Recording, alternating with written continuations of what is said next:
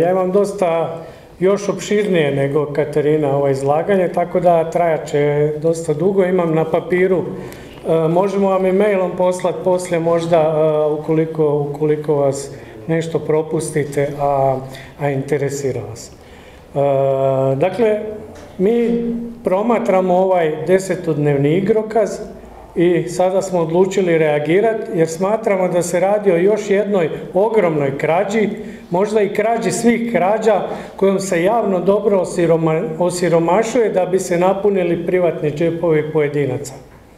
Iz vlade lažu, bezočno, jer nakon što se pročitaju dopisi upozorenja o prijetećim gubicima koje je HEP slao ministarstvu, svima je jasno da tako krupna stvar nije mogla nikome promaknuti.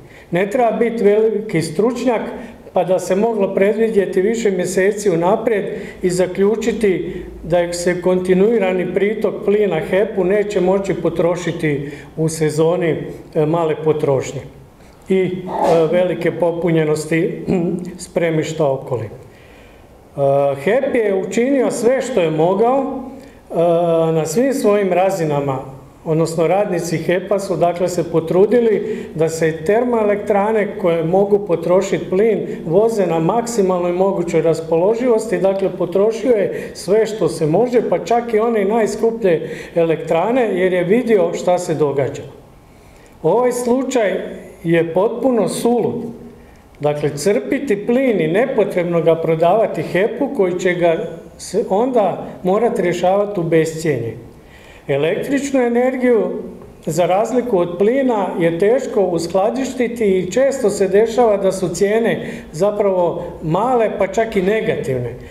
Zato što ne možete zaustaviti vjetar ili kišu. Međutim, u slučaju plina vi ga morate crpiti da biste ga potrošili. Prema tome, bilo je vrlo jednostavno ga zaustaviti crpljenje, odnosno prekinuti te nepotrebne opskrbe plinom. Da bi stvar bila gora, ova ludost ide toliko dalje, pa je naloženo INI u međuvremenu da mora za 10% još i povećati svoju isporuku HEP-u. Zatim, nakon 30. ožujka se produžava ona uredba, iako ona nema nikakvog smisla ili procjena u HEP-u bila, odnosno na svim tržištima, da će se dugoročna prognoza cijene zapravo e, smanjila, odnosno da će cijena biti niska. I što više u toj uredbi se diže cijena otkupna plina sa 41 na 47 eura i na kraju ili na početku, HEP je početkom godine e, podnio zahtjev za povećanje cijene električne energije sa 10% kako bi se ublažili e, učinci, gubici zbog učinaka ove uredbe Tom prilikom se državni tajnik Ivo Milatić pred medijima bahato obrecnio kako se cijena neće povećavati niti za cent. Slično kao što je ministar Filipović prošle godine hladno izjavio kako HEP može izdržati navaljeni trošak koji je za 2022. godinu iznosio 6 milijardi kuna. Da bi farsa bila potpuna, HEP je na računima za plin, električnu i toplinsku energiju svoje gubitke morao prikazati kao iznos koji je velikodušna vlada svakom kupcu uštedjela. Dakle, HEP u gubici, a vladi hvala kako je to ušteda sa njene strane. I unatoč svim tim činjenicama, predstavnici vlade ne priznaju odgovornost, uporno se koprcajući u svojim lažima kao prasad u vlastitom izmetu i pritome još bahato vrijeđaju inteligenciju naroda. Perjanicama ove afere, Andreju Plenkoviću, Davoru Filipoviću, Ivi Milatiću, prsti su sve dublje upadaju u pekmez, a sve je izvjesnije kako bi ovo mogla postati afera svih afera s puno širim popisom umočenih. Ne treba čak puno ni dokazivati. Kad bi pretpostavili da niko nije kriv, dovoljno je pogledati ovu sliku, odnosno ove dvije. Dakle, kako je moguće dakle, da namećete javnom poduzeću ogromne gubitke, a istovremeno u istoj godini jedno privatno poduzeće ostvaruje ogromnu dobit i dakle pohvale. HEP je najveći gubitaš, a PPD je perjanica gospodarstva.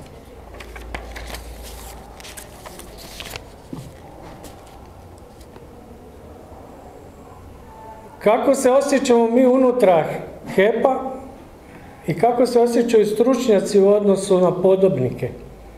Znači, Nikola Tesla je u Hrvatskoj praktično izmislio električnu energiju. Hrvatska je pionir izgradnje hidroelektrana u svijetu. Stručnjaci iz cijelog svijeta dolazili su kod nas učiti o struci koja je tada za njih bila napredna. Do prije nekoliko godina HEP je bio jedno od najpoželjnijih poduzeća za zaposlenje. No danas radnici HEP-a umjesto da su ponosni na svoj rad i nasljeđe osjećaju sram, demotivirani su, sve češće odlaze iz tvrtke dok se novi u njoj uopće ne žele zaposliti.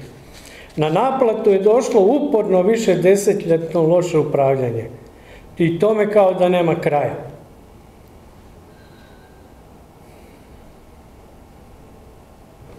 Sva sredstva HEP-a kao javnog poduzeća koja se sad prebacuju u privatne džepove političkim odlukama vlasti i lošim upravljanjem, zaradili su radnici svojim poštenim radom. A ti isti radnici koji gledaju kako im se rastače tvrtka koju su gradili oni, njihovi očevi i majke, njihove bake i djedovi osjete osim sramote i direktne posljedice na svom standardu jer je HEP jedno od rijetkih poduzeća koje je samo simbolično kompenziralo inflatorne učinke rastom plaća. U HEP-u ima na tisuće visoko kvalificiranih i visoko obrazovanih radnika tehničke struke koje bi lakoćom mogli kvalitetno voditi poslovanje. Ali HEP ima i stotinu i više menadžera koji su gotovo svi na svoje pozicije došli prvenstveno zbog stranačkih veza i od kojih ogroman broj nema veze sa strukom. I HEP pored tih stotinu i nešto menadžera, ima još barem duplo njihovih pomoćnika, savjetnika i bivših menadžera koji su političke stranke dovele i ostavile kao nepotrebni balast. Na najvišim pozicijama u HEP-u situacija je takva da niko nikom ne vjeruje, niko nikome ne smije okrenuti leđa. Ta perverzija ide do granica da se ponekad ne mogu donijeti ni elementarne odluke jer, jer pojedini članovi uprave svoj potpis ne žele staviti na išta zbog straha od svojih kolega. I dok struka obavlja cijeli posao da bi, da bi naš energetski sustav funkcionirao, poslovodstvo je osnovno cilj samo očuvanje svojih pozicija. Kod njih ne postoji upravljanje pažnjom dobrog gospodarstvenika, ne postoji borba za poduzeće koji ih hrani, ne postoji ni solidarnost prema onima koji donose prihod svojim radnicima, Postoji samo zadovoljavanje osobnih interesa i interesa svojih stranačkih sponzora. Takva je i sadašnja uprava HEP-a. Uprava HEP-a, zašto je uprava HEP-a kriva i zašto mora otići? Uprava HEP-a je pisala dopise i upozorenja svojim sponzorima iz vlade. To je ta ista uprava koja dobro zna kako dopisi lako završe bačeni u ladici, jer to godinama i sami rade sa dopisima sindikata.